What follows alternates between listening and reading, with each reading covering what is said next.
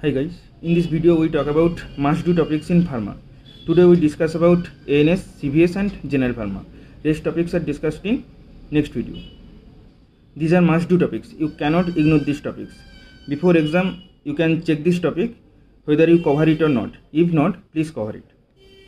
From general pharma, plasma concentration, loading dose calculation, kinetics, first order kinetics, zero order kinetics, therapeutic window, efficacy, potency graph. These are extremely important.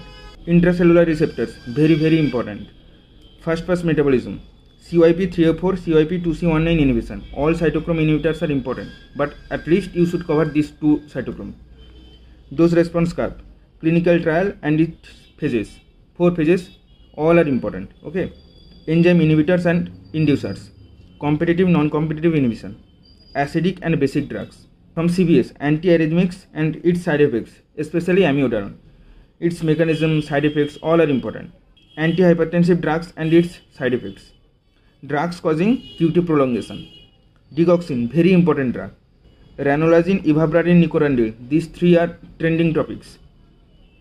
Sodium nitroprusside mechanism of action. Drugs in acute and chronic heart failure.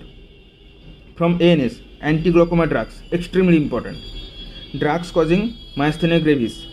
Drugs for benign prostatic hyperplasia. Tamsulosin, finasteride, all are important. Beta blocker side effects and its contraindication. So in this video we discuss about these three topics, general pharma, ANS and CVS. Rest of the topics are discussed in next video. So till then, please revise this topic. Um, see you in next video. Tata.